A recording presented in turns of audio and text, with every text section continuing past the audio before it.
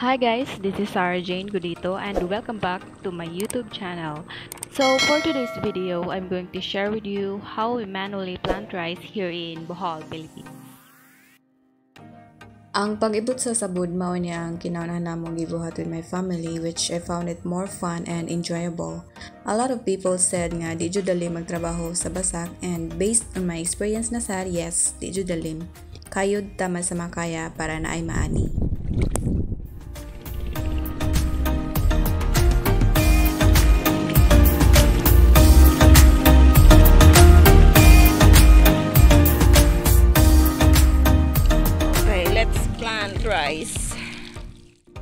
Magsugod namin yung pangipangkatag ag mga sabud.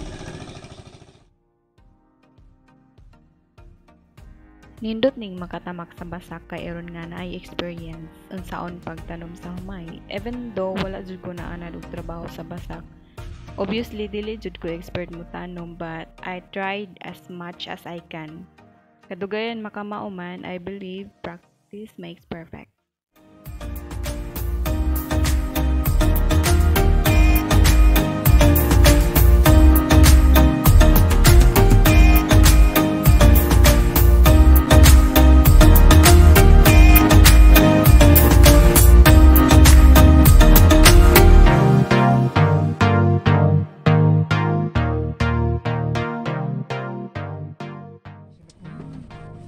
Dako na ilang tanuman Ito, nato. ah, isa na lang. Ay, cute trabaho.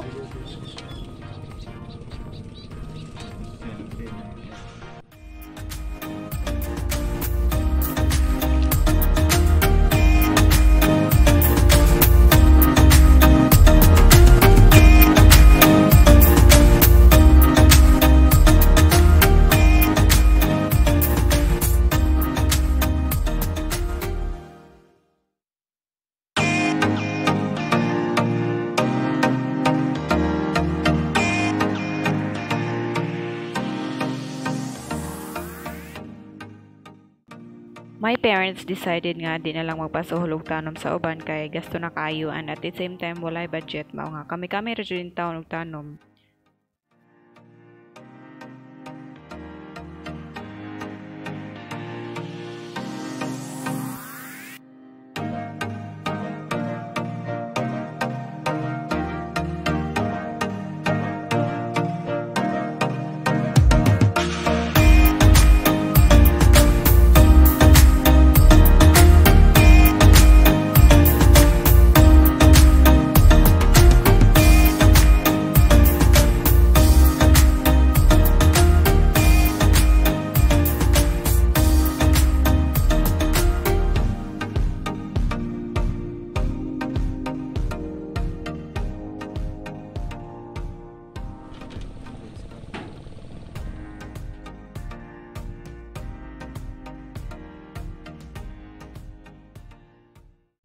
Human na dyan tanom sa basak.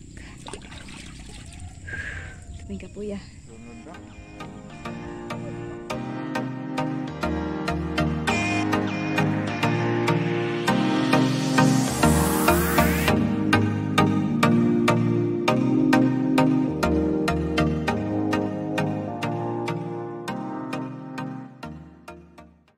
If you like this video, click thumbs up and make sure to subscribe to my YouTube channel and click the notification bell for more updates.